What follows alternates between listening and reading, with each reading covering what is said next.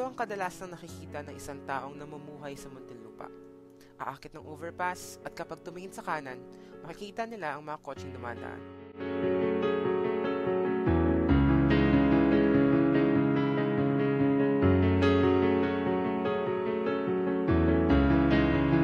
Pwede rin naman sa isang mall kagaya ng Alabang Town Center.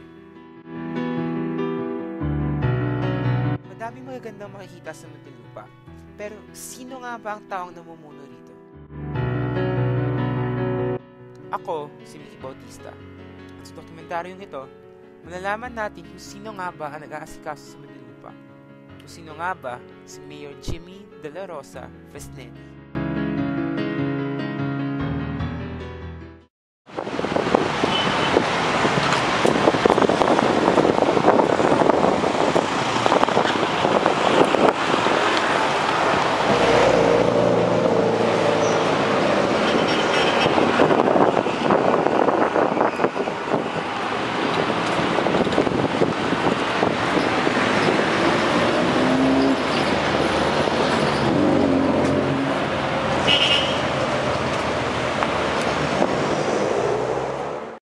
Habang kami naglalakad, nabigyan kami ng pagkakataong makausap ang isa sa mga may hirap na naghahanap buhay sa daanan ng mga sasakyan malapit sa Alabang Town Center.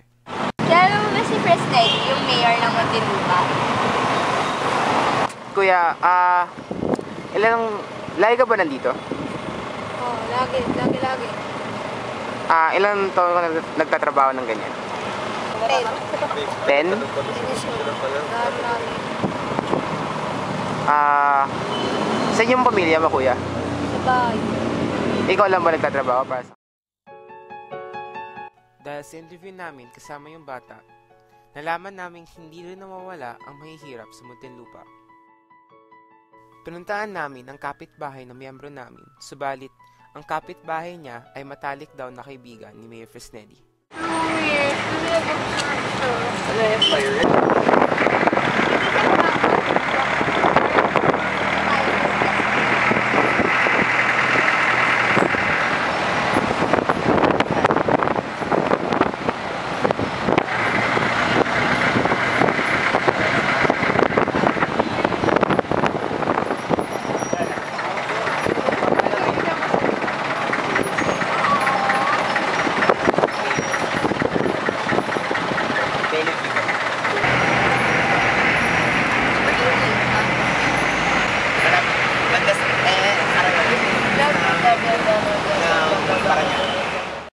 Pagkatapos ng sampung minuto, nakarating na rin kami sa village ng miyembro namin.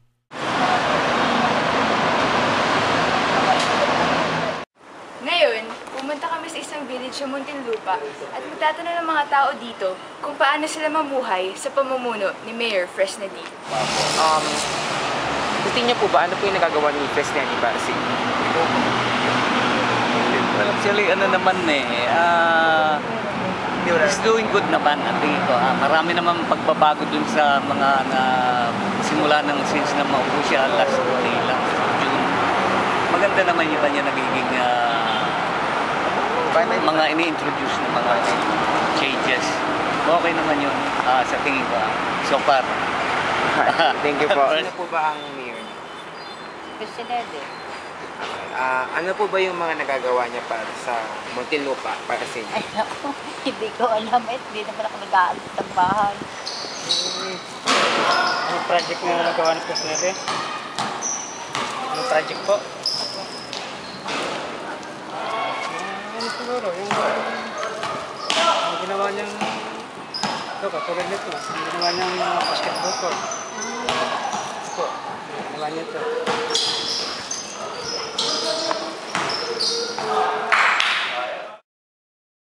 Pagkatapos namin mag-interview ng mga tao sa village, pinuntahan na namin yung kapitbahay na nakakaalam kay Fresnelli.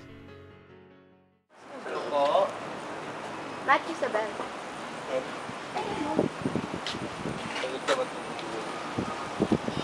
Yun, oh. 3,000 po.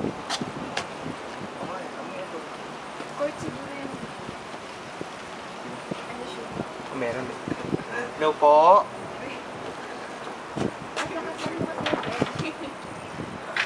Expert on. Walang net. Nandiyan po ba si, ano, sino? Si Ate. Bakit? Kasi po, um, kagabi po nagtanong kami ng, nagano po kami ng interview po sa kanya po. Kasi may sa project po namin. Umayag naman po daw siya.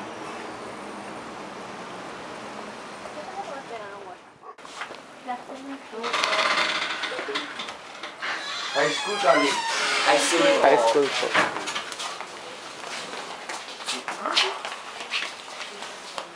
Kabila, kada ka na lang. Nagpakilala muna sina Adela Salvador at Bambi Salvador bago nila sinagot ang mga tanong namin tungkol kay Fresnedi. intercity homes. Then, what was very important then for the projects no, to um, to be able to push through with all the projects, you have to be uh, in good relationship with the city mayor. But before that, si Mayor Bunyi, no ba? Oo. Ah, si, si Mayor Bunyi, and then until he became a congressman, si Mayor Fresnetti naman ang tumakbo for mayor. So from the mayor, uh, from the time umupo siya that, what was year was that? 2000, 1998, no? No, just to give them ano, basta from the very first time, like mayor na siya, kilala na niya eh. So, he was the first one na naging friends. And then, after that, yung mga next na, next na laban, we were, actually, we were, they did not get us as campaign managers. They did not. We ourselves, we did it here in the community. And then, uh, what was, what surprised Mayor Pesnetti, what, uh, that's why we became friends with him, was that um, without getting us, without asking us if you can do this, do that, we volunteered. Others, they pay, di? But we know. So, in year, all the other elections, up to 2007, tapos siya. 2007, lumaban yung wife niya, which didn't make it. It doesn't mean if you're a first lady, diba? Kasi sa Pedro was, diba, uh, medyo popular na.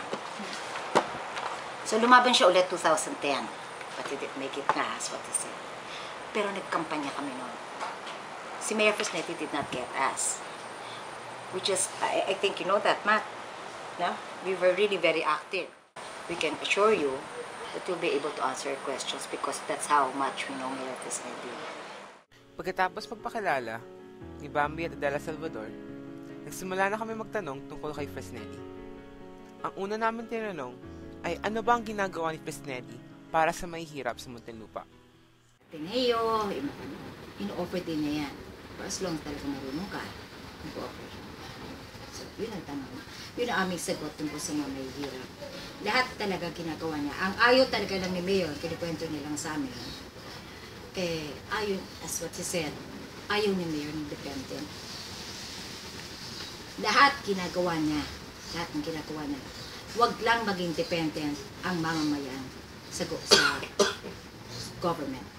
Whether uh, yung national or sa city government, barangay, ayun na yun. So, yung sa hospital naman, sa mga pag ikaw ay nasa ward lang, you get 75% subsidy. Pag nasa ward.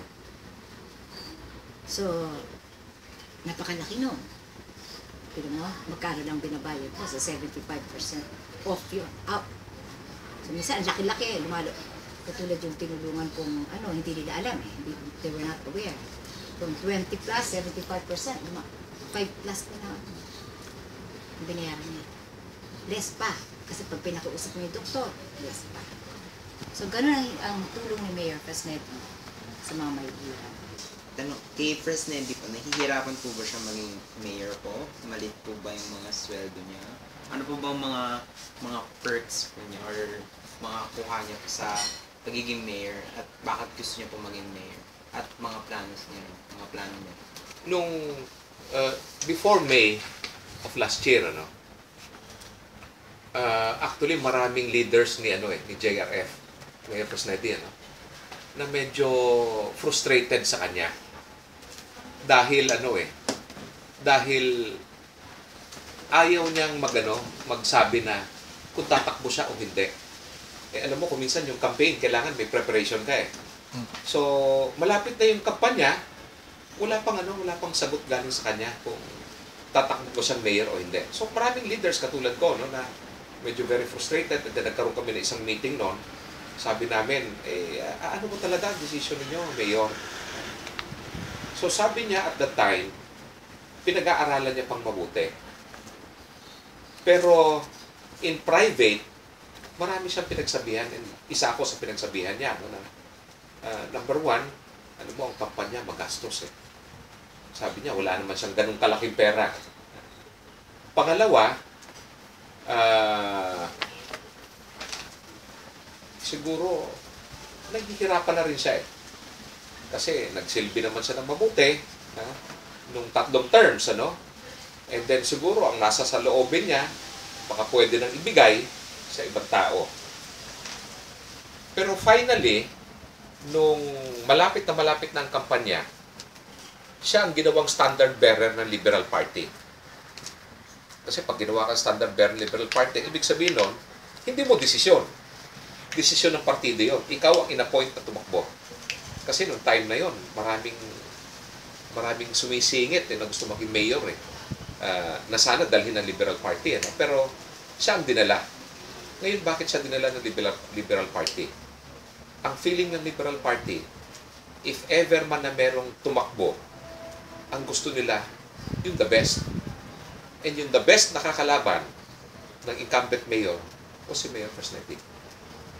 So, ang sagot ko doon is pinili siya ng tao. Pinili siya ng Liberal, Liberal Party na tumakbo. Bakit ko sinabing pinili ng tao? Yung Liberal Party kasi, nagpapasurvey yan eh. Nagpapasurvey. Ano ba ang winnability nito? Di ba? Ganyan ang mga malalaking partido eh. Chine-check nila yung winnability ng ano, ng isang kandidato. So, nung nag-survey ang ano, ang Liberal Party, ang nakita nila, ang number one na pwedeng lumaban, si Mayor Fresnetti. Ang pangalawang reason, siya ang pinakamahusay na tao na tatakbo para sa Liberal Party. So, yung dalawang reason. Pagkatapos namin mag-interview, nabigyan kami ng pagkakataong makausap si Mayor Fresnelli. The students, sumasagot para sa inyo at ninyo? campaign manager. Oh, tapos ah, ito Email po, niyo ako. yung So, ah, lahat kayo, binigyan namin sila ng kopya ng mga send lingkod you. bayan kasi nandito yung ibang mga sagot sa ano eh, sa, kanilang katanungan. Opo. Ah. okay? Oh, Mayor, Mayor! Hello lang sa inyo to mga bata, sandali. Sandali lang po, sandali. Mm. Kay Mickey. Ano. Hello po. Ah, ako po si ako po si Mickey Bautista po. Ako po yung leader ng grupo po namin.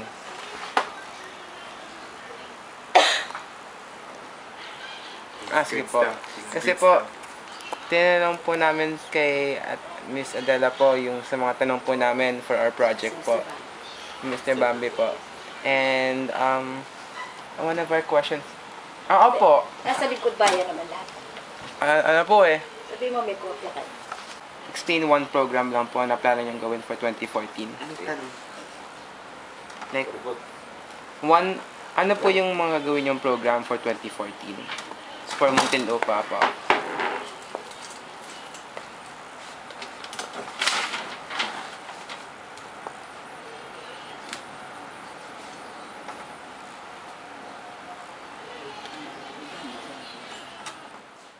Habang kinakausap ko si Mayor Fresnelli, sinabi niya na isa sa mga plano niya ay pagpatuloy ang mga scholarship.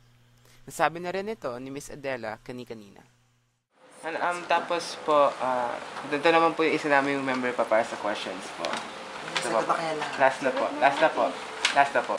Anong, anong gusto niyo po ipayo sa mga gustong tumakbo sa politika? Yung ano pa, wait lang po. Ano po po yung mga gusto niyo po ipayo sa mga gustong tumakbo sa politika? Ang pinayo ni Mayor Fresnelli ay dapat hindi pa nakakapasok sa public service, maganda ang pamumuhay, handa sa lahat, at maganda ang pag-iisip. Natapos na rin ang aming interview kina Adela at Bambi Salvador. Sige po. Marami tayong natutunan kay Mayor Fresnelli. Hindi lang siya magandang leader, kundi pinapatunay niya na tama ang binotong mayor ng mga taga Muntinlupa.